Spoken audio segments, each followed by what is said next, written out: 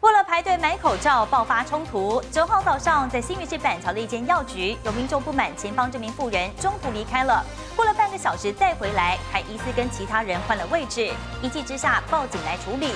但是当民警到现场时，双方依旧是争执不下。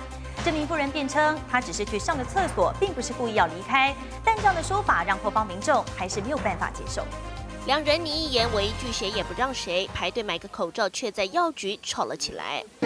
口罩实名制后，依旧是大排长龙。事发地点就在新北市板桥区这家药局，才刚开门，队伍早就延伸到马路上。当时穿着蓝色衣服的男子和前方妇人发生纠纷，竟然直接打电话报警。远警来了，两人情绪还是好激动。然后他就跟跟警察说，他他报的警，说前面有有人插队，怎么离开位置三十分钟，一直买。回来，然后一直换位置这样子。原来穿着紫色衣服的妇人看起来是和家人一起排队，但疑似中途离开半小时才回来。后方男子不能接受，更怕对方是帮人带领，影响其他人权益，气得报警，让警方来评评理。这个一两分钟是没有问题，你太久了，人家后面的人也会说你不可以。比如说我要离开，就像我刚刚去那边抽烟，我在交代那个结会郎说，我来要假结婚的。